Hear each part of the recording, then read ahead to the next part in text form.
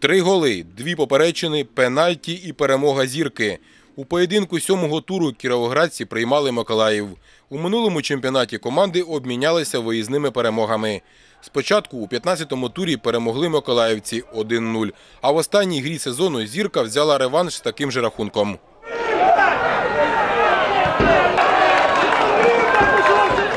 До першого очного протистояння суперників у новому чемпіонаті кіровоградці підходили з кадровими проблемами. Не готовится э, вообще к игре Деревчинский Александр и Поштаренко Павел.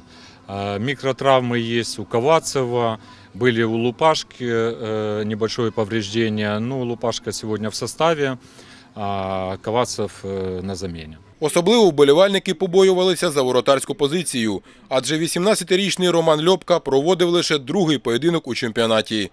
Але наш юний голкіпер зіграв надійно і декілька разів рятував команду від голу у другому таймі. А от у першій половині матчу Роман відверто нудьгував. Перший і до того ж невлучний удар у бік воріт зірки миколаївці нанесли аж на 17-й хвилині.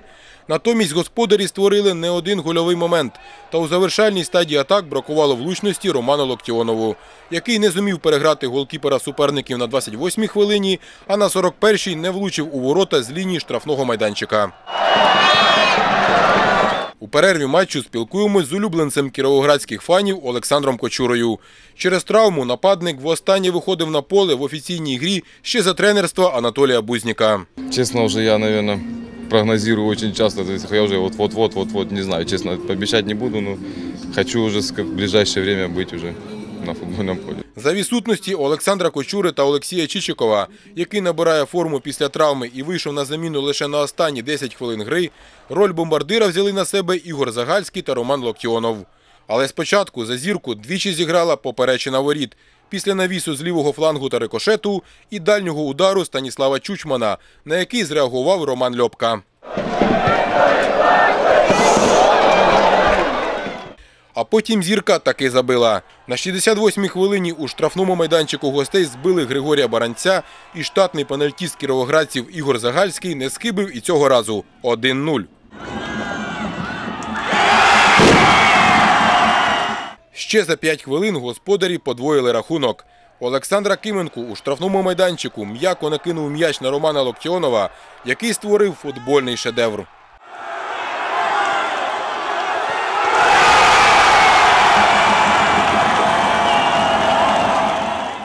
На 78-й хвилині інтригу матчі відродив Юрій Боличов, вдало зігравши на добиванні.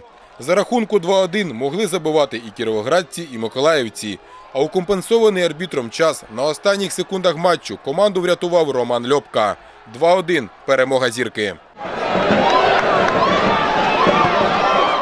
занервував, е, трохи хот- хо- хотів ловити цей м'яч, але так с- склалося.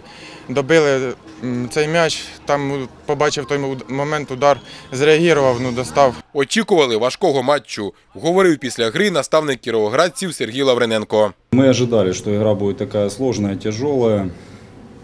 Это уже совсем другой Николаев, то есть это не та команда, которая заканчивала прошлый чемпионат. Нам было очень тяжело, но тем не менее, то есть мы смогли реализовать те моменты и, скажем, забить два гола. Не програвали у сьомому турі і конкуренти зірки у боротьбі за місця у верхній частині турнірної таблиці. Охтирський нафтовик та Черкаський Дніпро обіграли своїх суперників на виїзді з мінімальним рахунком 1-0. У центральному поєдинку туру розійшлися миром Харківський Геліус та столичний Динамо-2. Тож кияни зберегли за собою перше місце, зірка піднялася на друге, а у спину нашим землякам дихають одразу три команди. Олександр Сметанко, Роман Сташенко. Новини спорту.